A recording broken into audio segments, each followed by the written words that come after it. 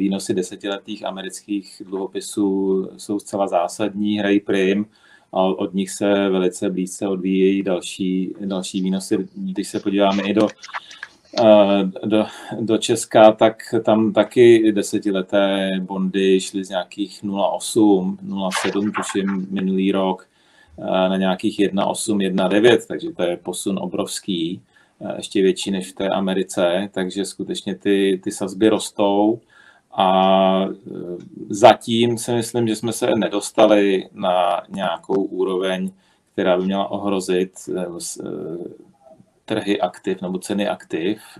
že by měl přijít nějaký kolaps. To bychom museli jít podle mě podstatně výše, minimálně o jeden procentní bod po celé křivce nahoru. Zatím, jak tady zaznělo, je to procentuální změna sazeb obrovská, nárůst o 100%, ale je to 1% bod, takže Eh, to není tak eh, zatím na kritické úrovni, ale když si vezmeme v potaz tu enormní úroveň globálního zadlužení, zadlužení všeho obyvatelstva, států, firem, tak tam skutečně jeden procentní bod, to už jsou jako triliony na úrocích. Jo. Takže tam to jeden procentní bod si myslím nahoru ještě nebude nebezpečný, ale pak bychom se mohli dostat do eh, oblastí, kdyby to mohlo eh, nahlodávat ceny aktiv. Ještě jenom na závěr, eh, jak tady zazněla očekávání zvyšování českých sazeb, taky se s tím stotožňuji a už se na to velice těším, protože pro české investory to může být opět zajímavé, i pro ty, kteří třeba se nemusí investováním zabývat profesionálně, tak se to projeví v jejich portfoliích. Konkrétně třeba pokud někdo investuje do zajištěných fondů, které investují v zahraničí, tak eh, pokud jsou české sazby eh, vyšší, než jsou třeba americké nebo evropské, eh,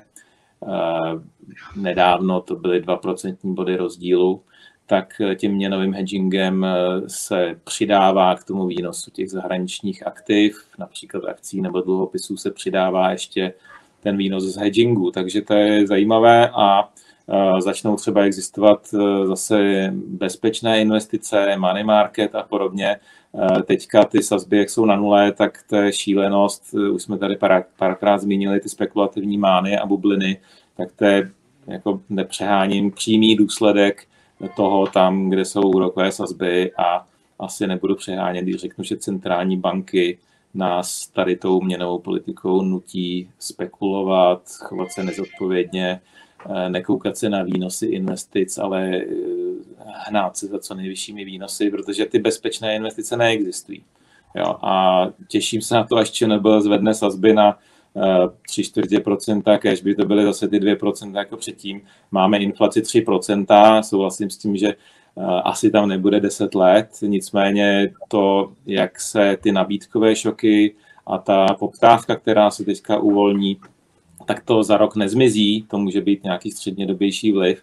a Eh, proč bychom měli mít inflaci 3-4% a sazby na nule, to nedává žádný smysl. Takže těším se na to, až ty sazby se trošku znormalizují, protože to bude ve prospěch lidí, kteří se chovají zodpovědně a bohužel lidi, kteří se chovají nezodpovědně, tím zřejmě utrpí.